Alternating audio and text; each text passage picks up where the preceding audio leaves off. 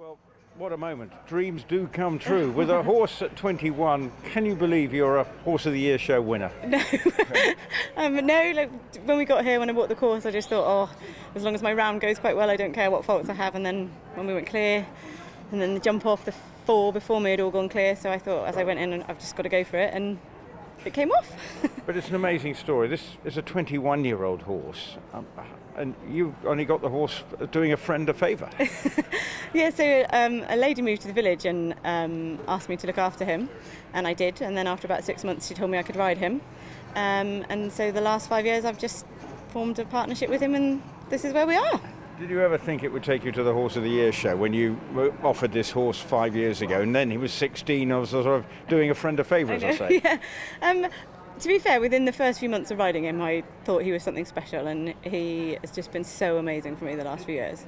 Um, he deserves it, and that's why I said to give him one last shot, even though he's a bit old, because um, he has been so consistent and brilliant for me that I owed it to him for him to have some little memory.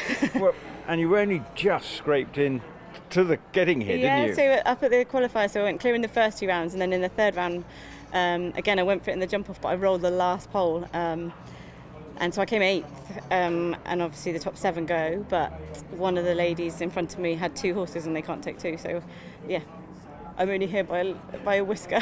but coming here, what were your expectations, and did you think you could win, or is it just the thrill of being here was the main uh, achievement? Uh, yeah, no, just the thrill of being here. I've never been before, never qualified before, and been trying since I was a child. um, and like I know he can be amazing, and so it's quite nerve-wracking riding him because if I make a mistake, it's me, not him.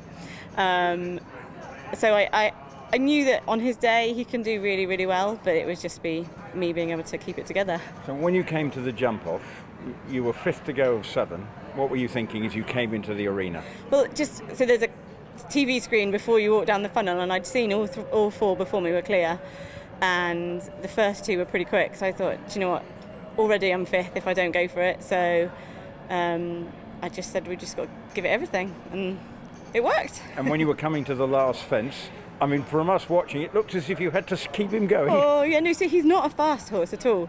Um, he's always he's very like complacent in what he does, but he just turns, and because um, he's so easy to ride, he never argues. We never he's actually more efficient and faster than he looks. So any turns very very easy. He just keeps his rhythm brilliantly. Um, so he saves time and actually goes a lot faster than he looks. Um, so yeah, I was in two minds at the last, to take a pull or not, and I can't even remember what I did now, but it worked. and when you realise you're going to the lead, I mean, presumably then that was just a... Yeah, I think I screamed.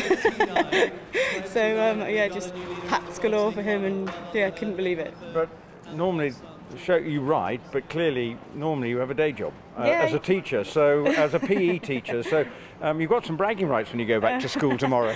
yeah, so it's an independent school, so we work six days a week. So um, yeah, bless him, he doesn't get exercised as much as he probably should. Um, and that's what's great, so great about show jumping is you can keep doing it all the way through the year. Um, I do like eventing, but I just haven't got the time. And now I've got two children as well, and with my job, um, I just find that the show jumping circuit around us is so good, um, such great classes that I can keep it going with my job. So it works. So when you go back into school, you can say, I'm a Horse of the Year show champion. What will your pupils be saying to that? Or, or, well done, miss, or will they say something? what will they say? Oh, no, they're lovely. And we've actually got quite a lot of riders at school. So um, um, there's quite a few of them that compete, so they'll understand how excited I'll be. Um, and yeah, no, they're brilliant pupils. It's a really nice school, and the children are really supportive. So. And for you, is this an ultimate sporting ambition achieved? Oh yeah, definitely. To say I've even jumped here and then to be able to say I've won is unbelievable. So yeah.